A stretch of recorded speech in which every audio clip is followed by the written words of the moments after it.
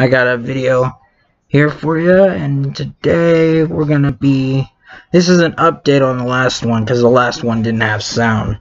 So um, I'm gonna be looking at FreeFixer.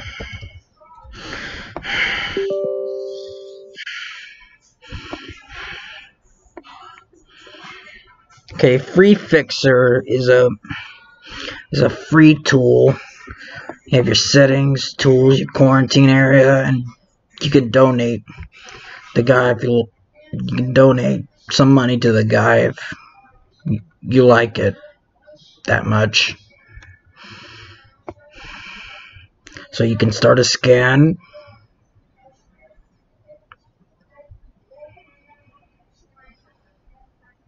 And this helps to remove some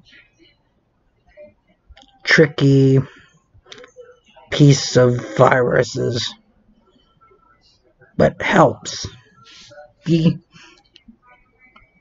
use with caution because this tool is very powerful and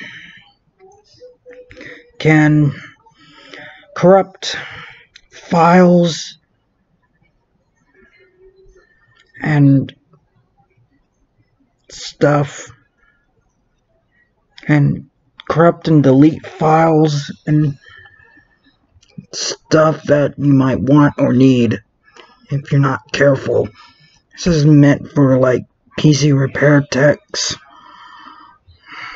and experts at this kind of stuff. I am not a PC repair tech, but I do know how to use this once you can save a log recommend you do. Already exist. You can scan again. There's something that you wanted to catch and it didn't get it. You can always do a second scan. There's a fix but you'd have to check the boxes. You'd have to check some You'd have to check the box of the thing that you want to remove but don't think this is a one tool fix all because you'll need to run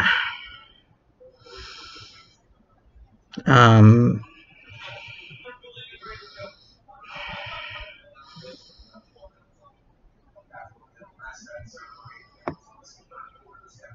can um, sorry if I sound sound a bit shy I'm just there's days where I'm just out of words. But anyways, there's these things that's they they have they have these more info buttons. If you don't know anything about what something is and you don't know if you should remove it or not, just click on the more info and it'll take you to a page that tells you all about it. Um,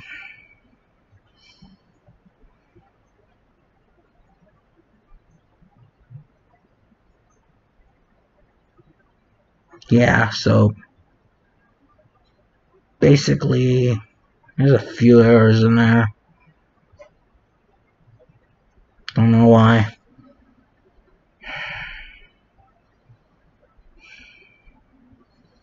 So yeah.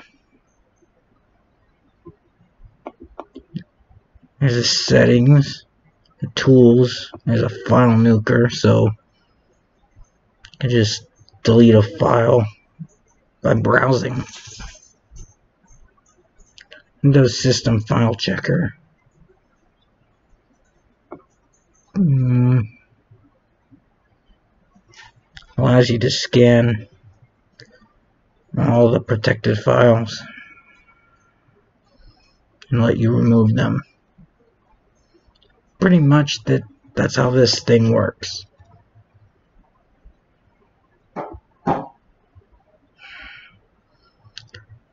I'll see you again.